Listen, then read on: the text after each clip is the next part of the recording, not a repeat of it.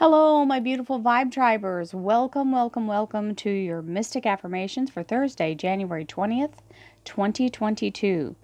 Welcome to our relentlessly optimistic, positively positive, abundance, and beautiful energy reading as we use this energy for our manifestation purposes. We use the law of divine compensation, the law of attraction, and our ability to focus our intention on our best possible life. Remember, this is a collective reading for all sun, moon, and rising signs. That means if you'd like a personal reading, please visit my website, royalmystic.com. I'll be more than happy to assist you once you schedule your appointment. And if you need a little boost during the week, you can check out my podcast, Royal Mystic Collective Wisdom. It's available on all major podcast platforms. So here we go into our energy. Ooh, nice. We have the Ace of Swords, which is a gift of clarity and focus and cutting through the veil. You can now see your way forward, as this is a gift of, of being able to see through what's been blocking you and lifting the fog or lifting what's been obscuring your vision. This is a victory energy from divine. It is a gift. All aces are gifts. And then you have the Hierophant, which is the energy of being accepted or granted permission to enter. It's the energy of a large corporation or a membership to something being welcomed in, being allowed permission or entrance. This is also the Taurus Major Arcana. Let's see what else we have. Thank you, angels, archangels, divine pure white light, divine spirit, the magician, spirit guides, gods and goddesses. Thank you so much for being present here to allow all sun, moon, and rising signs to have the information they seek, to assist them in remaining on their highest possible spiritual path. We thank you so much, Divine, for these blessings and beautiful messages, and we receive them in the love and light for which they are intended.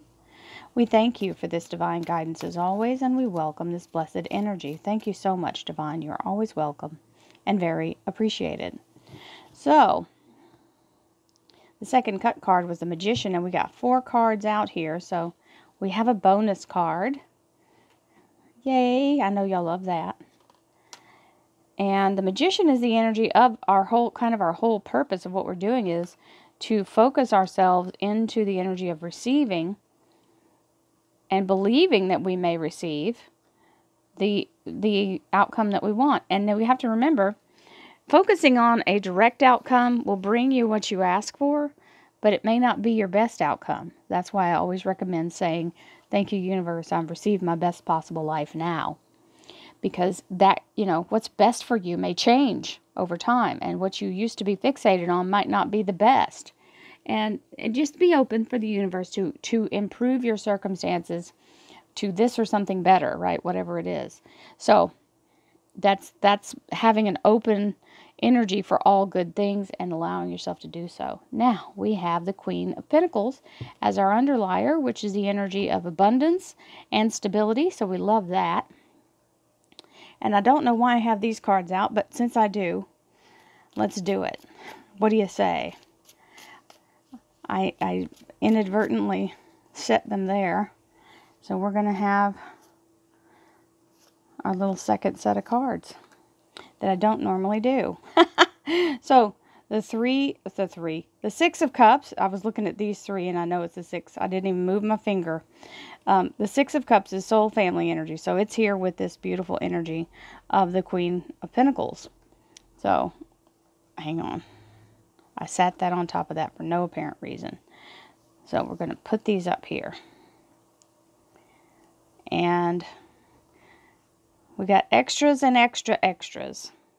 So here's empowerment, and this is the energy of feeling worthy and saying to yourself, you are deserving of receiving your best possible life and and believing it right now you're at a point where you not only just say it to say it to get yourself to accept it but you actually are now feeling like you've done the work you feel worthy of it and I recognize and appreciate all that inspires me to feel empowered. Remember, you're already empowered. It's a thing that has to wake up within you. So the things that you find in your life that actually give you the feeling of that capability or the accomplishments that you've done that make you feel empowered, That's what that's what this is talking about is the things that trigger you to remember you have you have earned the right to be here. So, because you didn't have to earn it, by the way. That's that's the whole thing is you already had it. You just have to believe it yourself. So here's good fortune, which is always a happy card. The universe provides me and my family with prospects for good fortune. What an amazing energy and remembering that everyone will benefit and that's when it's a when it's a win-win, it's always the best outcome. Let's see what our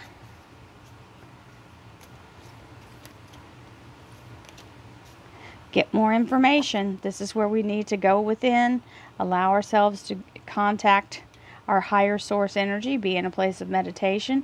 This particular card is Metatron. Metatron is an archangel known as the scribe of God or the hand of God, the right hand of God. He is the energy of holding this beautiful Metatron's cube. It's the DNA of all existence. Now, he is ascended from a human. And in his human form, his name was Enoch. And he ascended to be Metatron. And so this is a big deal. He's the one that is the gatekeeper for all the information to all the universe, It's for all existence. Pretty amazing. And let's see what else we have. He's also one of my main guides, so he introduced himself to me and I didn't know who he was, so I had to look it up. Isn't that cool? Oh, look at that. Empowerment a second time, just in case you didn't get it the first time. The frequency of empowerment supports our ability to show up fully and completely, uniting us with others in the deep trust that we are all connected through the same source. And if you look inside here, it looks like a version of the Metatron's cube as well, because these are also sacred geometry uh, um, activation cards. The reason I got into sacred geometry is because I started to see symbols. Uh, I saw the Metatron's cube. I didn't know what it was called or anything, and so I sought out what the what the symbol I was seeing, and I figured out it was a Merkaba or Merkaba, and that in in its full form as Metatron's cube is what I was seeing, and it was spinning. And that's also uh, a symbol of activation of your third eye and the connection to source. So just in case any of you are having that experience, it looks like a spirograph figure spinning, and mine was spinning to the left. And I didn't know any of that stuff. I didn't know what it was called or who it related to or why I was seeing it. And it is an, a, an activation, ascension energy. So, in our Louise Hay cards, I radiate acceptance and I am deeply loved by others. Love surrounds me and protects me. I am beautiful and everybody loves me. This is a this is a feeling of self-love that you want to um, enhance within yourself so that you know you are worthy and you are accepted and you are beautiful and if you love yourself then other people can can follow suit so being in the energy of allowing. I radiate acceptance. I accept. And I am deeply loved by others. Love surrounds me and protects me. And yes, it does, because love is the highest frequency.